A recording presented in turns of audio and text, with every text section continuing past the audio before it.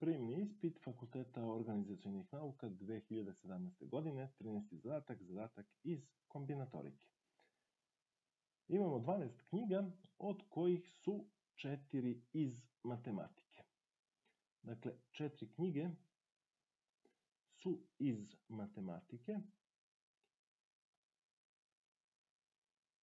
Njih ima četiri. I ostalih knjiga ili drugih knjiga ima 8. Dakle, ukupno je 12 knjiga. Broj različitih mogućnosti za kupovinu tri knjige, tako da je bar jedna iz matematike. Dakle, ako kupujemo tri knjige, tada možemo imati, a bar jedna da bude iz matematike, ili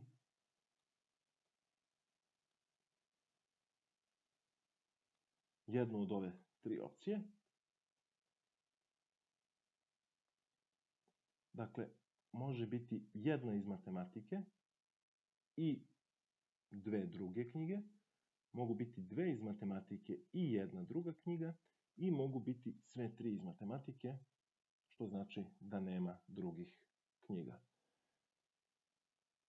U ovom prvom slučaju, numerišemo prvi, drugi, treći slučaj, u prvom slučaju mi smo od četiri knjiga birali jednu.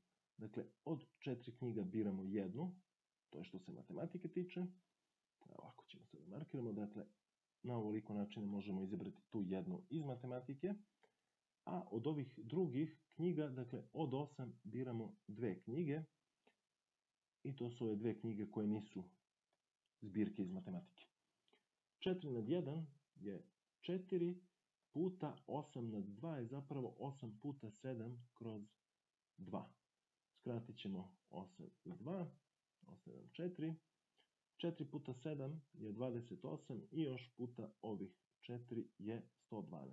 Dakle, u prvom slučaju, ako biramo jednu knjigu iz matematike, možemo kupiti na 112 različitih knjiga.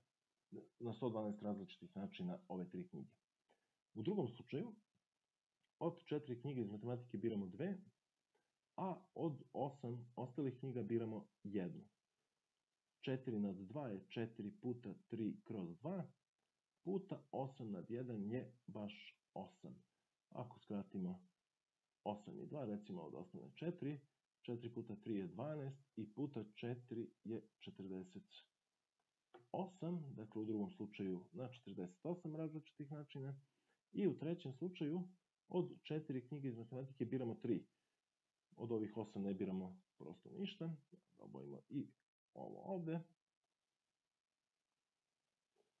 Dakle, 4 nad 3 je isto što i 4 nad 1, ali ajte, zapisat ćemo 4 puta 3 puta 2, kroz 3 puta 2, skratimo 3, 3, 2 i 2, i dobijemo naravno 4.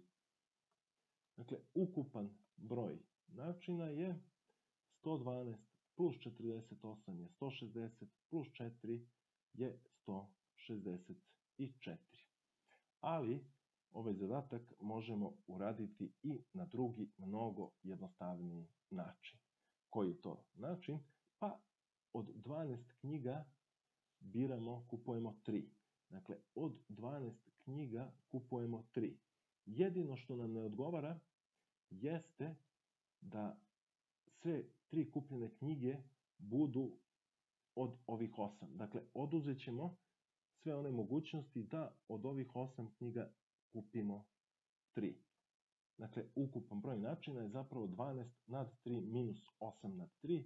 12 nad 3 je 12 puta 11 puta 10 kroz 3 puta 2 minus 8 puta 7 puta 6 kroz 3 puta 2 skratit ćemo 6, 3 i 2 i skratit ćemo 12, 3 i 2, ovdje će nam ostati 2. 11 puta 10 je 110, puta 2 je 220, minus 8 puta 7, 56, 220 minus 56 je opet 164. Dakle, konačan odgovor bit će pod B. Ukupan broj načina za kupovinu tri knjige, od kojih je bar jedna iz matematike, je 164. Hvala na pažnji, pozdrav!